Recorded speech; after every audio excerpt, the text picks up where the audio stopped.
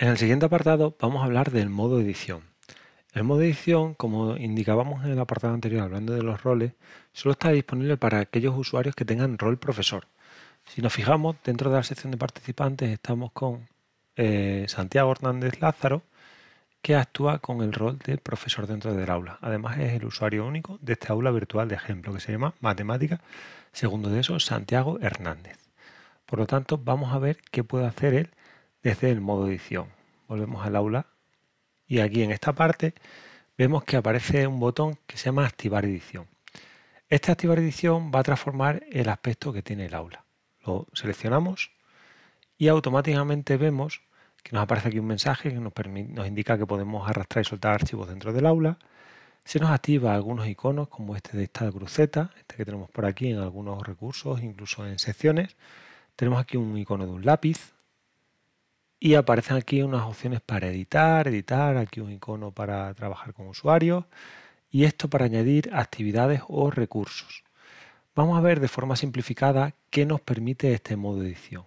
Voy a replegar este menú y lo primero que podemos ver es que podemos cambiar el nombre de algunos recursos concretos. Por ejemplo, esto es un foro que por defecto aparece en todas las aulas virtuales y lo veremos en la sección de foros, que es el foro de avisos. Si yo quiero cambiar el nombre de este foro, puedo darle simplemente al lápiz con la edición activa y en vez de llamarlo foro de avisos, llamarlo mensajes importantes. Le daría intro y automáticamente se me cambia el nombre de ese foro. Lo mismo ocurre con el nombre de las secciones o los temas. Por defecto son autonumerados, por lo tanto, aunque no le haya, no le haya dado ningún nombre, podemos eh, aparece el nombre tema 1 o tema 2 ordinalmente eh, de forma consecutiva, hasta los 10 temas que trae por defecto todo curso virtual. Por lo tanto, si yo quiero que mi tema 1 sea tema 1 introducción, le daremos al lápiz y tendremos que poner el nombre completo, tema 1 guion introducción. Al haberle dado un nombre personalizado, ese nombre se va a mantener si yo lo cambio de orden. Mira, vamos a darle un nombre personalizado al tema 2 para que lo entendáis y luego lo vemos. Tema 2, primeros pasos. Si yo ahora cojo y arrastro, que es lo que nos permite este icono, el de la cruceta, siempre con la edición activa, yo puedo coger este recurso que está en la cabecera, en la parte principal, y es un foro, lo selecciono y sin soltar el ratón, lo llevo aquí al bloque 1, veis que aparece como en gris para que yo pueda soltar, y estaríamos viendo un recurso. Eso nos permite la plataforma, es decir, yo puedo mover un recurso de una sección a otra, como ocurre con este foro. ¿Vale? Podría mover al tema 2. Pero no solo puedo mover recursos de forma aislada, también puedo mover temas completos. Por ejemplo, este tema 1, que ahora mismo no tiene actividades ni recursos centro, podría moverlo y cambiar la posición con respecto al tema 2. ¿Vale? Y volver a desplazarlo otra vez al mismo sitio, es decir, a la parte principal. Voy a recargar podremos moverlo aquí, a la primera parte. ¿De acuerdo? Si hacemos un clic simple, es decir, yo pincho la cruceta y hago un clic sin, soltando, me dice dónde lo quiero posicionar. Me sale una ventana que me dice a dónde quiero moverlo. Por ejemplo, al tema 3. Y yo podría cambiarlo. Pero cuidado con una cosa, mirad. Si os fijáis los temas que le hemos dado un nombre personalizado, el nombre se mantiene. Pero este tema 3 es un nombre que se genera de forma automática a partir de la posición que ocupa, porque lo hace directamente la plataforma. ¿Veis que pone tema 3?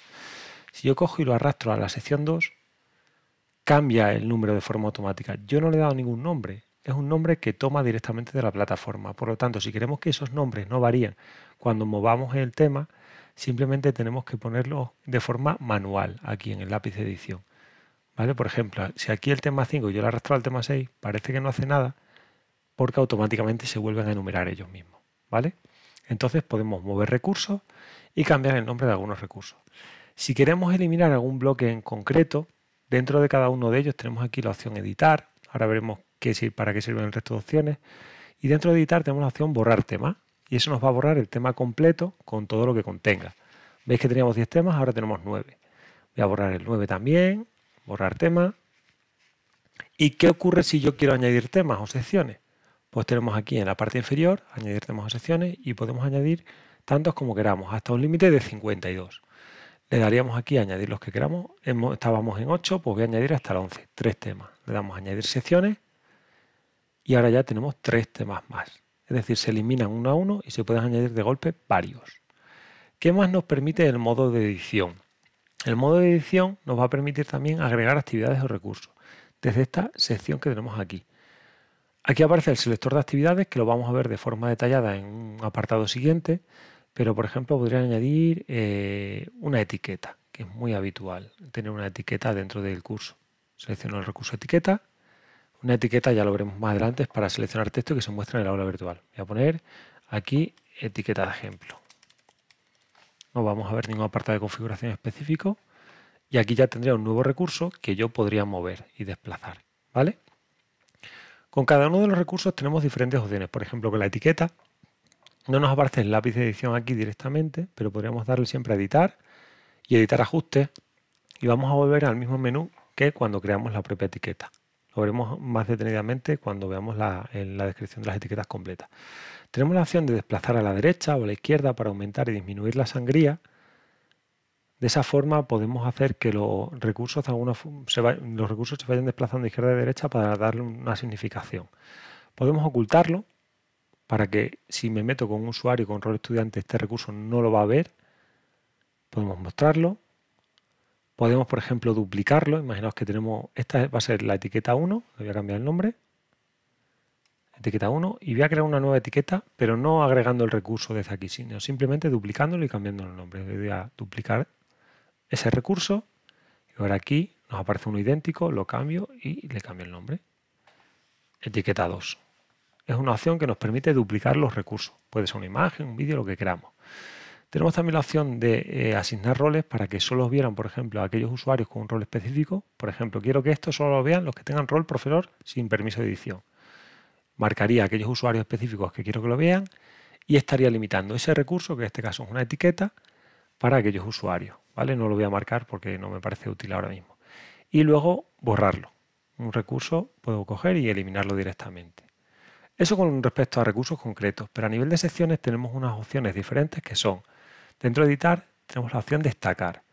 Al destacar, si os fijáis, lo que hace es que, voy a desactivar la edición, aparece marcada una línea en la parte izquierda como, y viene a significar que es el tema por el que vamos. Es una forma de indicarle a nuestros alumnos de forma muy sutil que vamos por el tema 1 de introducción. Solamente puedo tener activo una en destacado al mismo tiempo. Si yo, por ejemplo, destaco el tema 2, ahora mismo la línea solo estaría en el tema 2 y se quita del tema 1. Solo puedo tener un, tema destacado dentro del curso. Y luego también tenemos la opción de ocultar temas. Este tema, al ocultarlo, los estudiantes no verían el contenido del mismo. Por lo tanto, es interesante a la hora de crear contenido y no hacérselo disponible a los estudiantes hasta que nosotros no deseemos. Sobre los recursos también hay restricciones adicionales, pero ya las veremos más adelante. Y por último podemos borrar un tema. Si cogemos y le damos a borrar tema, automáticamente desaparece y tenía 11 temas, ahora tengo 10. ¿Vale? Estas serían de forma básica las opciones que tenemos dentro del apartado de activar edición. Evidentemente tenemos muchos más, por ejemplo en la sección principal tenemos aquí editar sección y podemos darle un nombre, por ejemplo no tiene puesto nada, voy a personalizarlo y voy a decir información, o perdón, sección principal directamente. Podría añadir un resumen aquí, que se podría hacer que se muestre a nivel de curso, pero no hace falta. Y sería esa la sección principal, la sección de cabecera. La sección de cabecera, como veis, no la puedo desplazar, no la puedo mover porque es la sección que aparece en la parte superior. Sin embargo, los temas sí podría. Y en principio nada más, es una forma muy básica de ver el modo de edición activa, pero va a ser a partir de dicho modo del cual, del cual construyamos los contenidos y recursos de nuestra aula virtual. Así que es un modo esencial y recordamos que solo puede tenerlo activo el usuario con rol profesor, es decir, otro tipo de usuario, los estudiantes y los profesores sin derecho a edición no tienen acceso a este modo. ¿De acuerdo?